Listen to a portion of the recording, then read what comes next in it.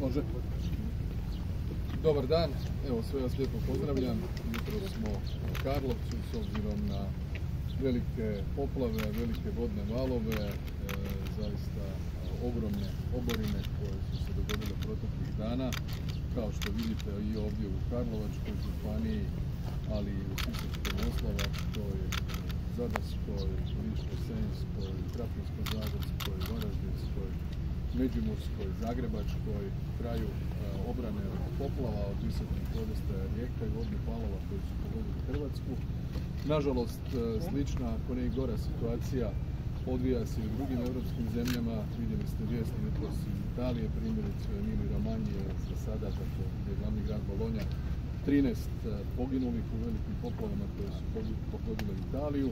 Želio bih danas nakon sastanka koordinacijskog kojeg smo imali ovdje zahvaliti prije svega ovdje u Karlovačkoj županiji, županici gospođu Kardin, e, gradonačelniku gospodinu Mandiću, ministrima Medvedu, Božinoviću, Banožiću, Hrvatskoj vojsci, Hrvatskoj policiji, vatrogascima, Hrvatskoj gorskoj službi spašavanja, Crvenom križu, civilnoj zaštiti, lokalnoj zajednici, svima na poduzetim i koordiniranim aktivnostima u okviru sustava domovinske sigurnosti proteklih nekoliko dana gdje e, se nastojalo pomoći onima koji su najugroženiji, spriječiti veće štetne posljedice i posebno ovdje u Karlovcu s obzirom da je tradicionalno, nažalost, ovaj grad na četiri rijeke koji je zbog toga prekrasan i privlačan, uvijek i žrtva visokih vodostaja. Možemo reći da je dio grada obranjen, pogotovo oni dijelovi Karlovca koji su ranije bili obično u najgoroj situaciji, to su Mostanje, Mala Švarča, Logorište, ta, ti dijelovi Karlovca ovaj puta nisu pogođeni, u nekim drugim dijelovima ima određenih šteta, ali globalno gledajući temeljem ovoga izvješća nakon ovih nekoliko dana možemo reći da je situacija u ovom trenutku pod kontrolom, vidite ovdje pored nas kako je visok vodostaj. Pratimo situaciju u drugim e, županijama, osobito u Sisačko-moslavačkoj županiji, gdje situaciju u Postajnici, u Hrvatskoj Postajnici, sada imamo najnovije informacije iz Siska, tako da ćemo nastaviti aktivnosti, posebno važno ovog godine Hrvatske vode i gospodin Đuroković je puno toga napravljeno i na prevenciji, i na prirodnim retencijama i na svem onome što se čini za zaštite od poplava u Hrvatskoj. U svakom slučaju, bitno je da je trenutna situacija bolja nego što je bila prije nekoliko dana, primjerice u Zadarskoj županiji u Brovcu, vidjeli ste da je 2008 rađen zid za Zemanju na 2 metra i 65, čini mi se kao 100 godišnja voda, otprilike ne trebala doći preko 2,65, prije par dana bila 302. To samo govori o krajnje e, rekordnim e, vodostajima i vodnim valovima s kojima smo suočeni proteklih dana. Evo, ja zahvaljujem još jednom svima. Ukoliko imate neke pitanje, a je li to određeni propusta po vama na pojedinim mjestima, odnosno je li se na pojedinim mjestima moglo bolje odreagirati? Ne znam na što mislite Što se tiče... Ne, ne, na kojem mjestu? Mislim, toliko je tih lokacija. Ako govorite o zidu recimo u Hrvatskoj Kostajnici, 2014. što smo naučili, evo sada 9 godina kasnije, taj zid se bio počeo graditi, ljudi prvi dio, taj znači ulica uz rijeku, kaže da se ti radovi nisu dovršili, a mogli su. Dobro, u Hrvatskoj Kostajnici je koliko mene poznato vodostaj on je bio preko 15 Dakle, došao je na 505.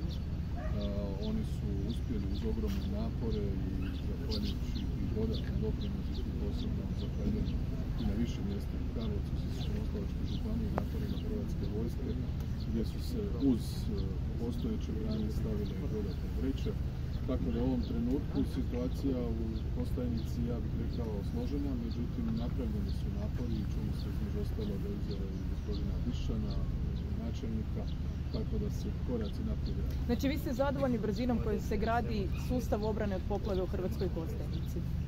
Pa gledajte, to možda može biti i bolje, ali tu je gospodin Đuroković koji će vam reći. Pa jeste ga pitali?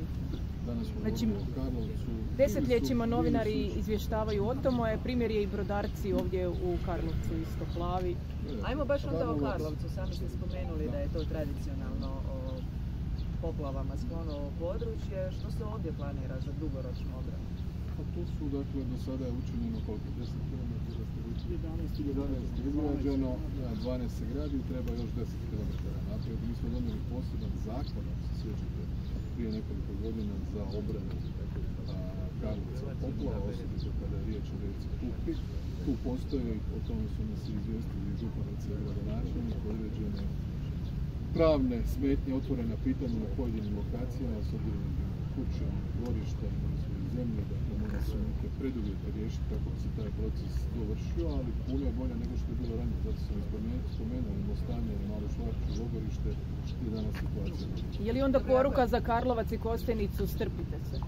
Ne, poruka je da se suočavamo sa rekordnim e, vodenim valovima i da se borimo. Zato sam spomenuo, dakle, pogledajte malo širu sliku, odite na Google, pogledajte što se zbiva u Italiji, pa ćete vidjeti kako je to kada je još gora situacija nego što je kod nas. Ovo su ogromne prirodne nepogode, a vlada je tu sa svim svojim sastavnicama, ovdje je bila izvrsna koordinacija i županije, i gradova, i općina, i cijelog sustava domovinske sigurnosti, hrvatskih voda, hrvatske vojske, policije, HGŠ-a, civilne zaštite, Crvenog križa koji dolazi do svih onih kojima je pomoć potrebna. I mi ćemo u konačnici na vladi sutra imati jedno privremeno izvješće o ukupnom stanju u Hrvatskoj i nakon toga, kao što smo to učinili u kontekstu brojnih elementarnih nepogoda i do sada, pomoći pojedinim županijama da se e, Kažu neki ljudi isto da su prepušteni sami sebi da nije došla e, pomoć do njih, e, voda i tako, valjda hrane imaju.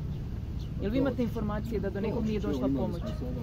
Gospođu Crvenog križa, ne znam, sada tu je bila s nama na sastanku, nas upravo izvijestila da imamo 500 domaćinstava koje pokriva Crveni križ, ukoliko je zbog voda ili nečega u ovom trenutku situacija da možda neko kućanstvo nije dobilo pomoć, ne znači da se to neće dogoditi, to su naši e, dužnostnici lokalnih vlasti koji će o tome Planirate li neki još obilazak danas osim Karlovca? Danas će najvjerojatnije otići potpredsjednik Nedjeljni Sisak, s obzirom da nam je upravo župan Celjak javlja da imamo neku situaciju sa branama oko Siska, a nastavit ćemo to Može li